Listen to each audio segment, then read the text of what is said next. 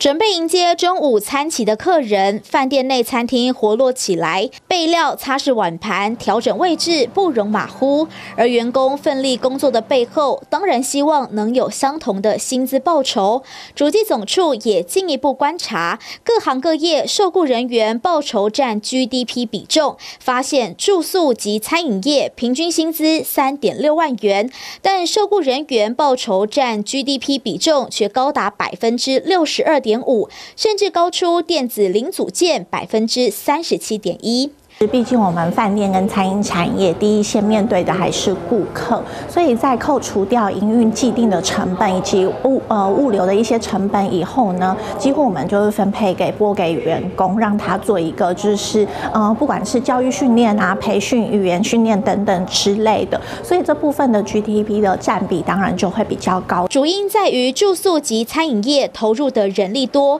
即使因为产业属性不同，平均薪资较其他产业。业低，但受雇人员报酬占比却高达六成以上。是比起就是其他产业的部分呢，他们可能以科技啊，或者是呃以机器人协助为主。那我们的部分的话，还是第一时间会面对到顾客呃需求为居多。所以在这部分服务的呃相对的面对面的状态，就还是会以大众为主。那因为不同产业的资本密集度啊、劳动密集度，还有技术密集度啊这些因素不同。那此外呢，不同的企业呢会有不同的经营策略哈。那有一些企业呢注重的是短期的利润，而有些企业呢比较注重长期的发展。那这些因素呢都会导致受雇人员报酬占 GDP 的比重呢也。不尽相同。例如，月均薪高达二十点六万元的水上运输业，二零二二年受雇人员报酬占比却连百分之十都不到。向来在制造业中薪资居冠的电子零组件，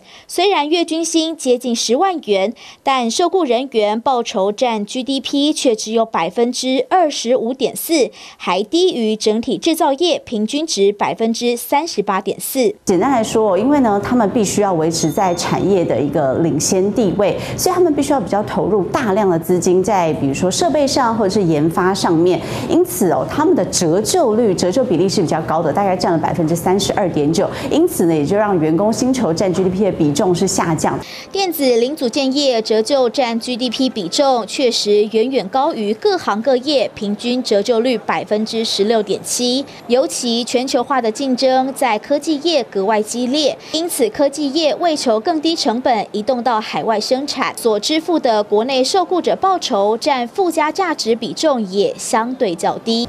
经济果实是否都有与员工分享？也就是受雇人员薪酬占 GDP 的比重，也成为被检视的一大重点。而根据主计总处近十年来的统计，也可以看到，虽然企业的营业盈余是逐年的提高，但是受雇人员薪酬占 GDP 的比重却从百分之四十六掉到了百分之四十三点九。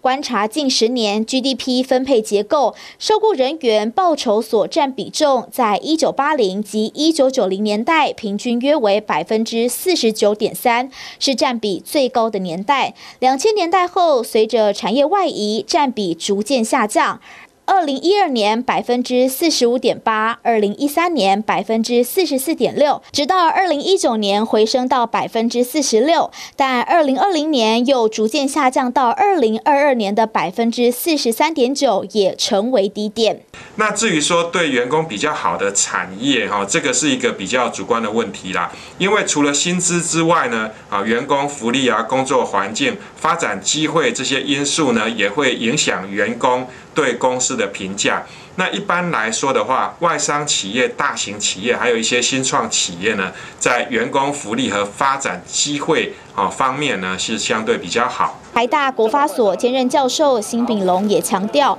如果以整体趋势来看，除非产业结构不变，才能下定论。因此，真正有意义的比较，应该回归到个别企业是否获利增加，以及调薪如何，相对来说也会比较可观。TVB 新闻，郑胜伟谢单词台报道。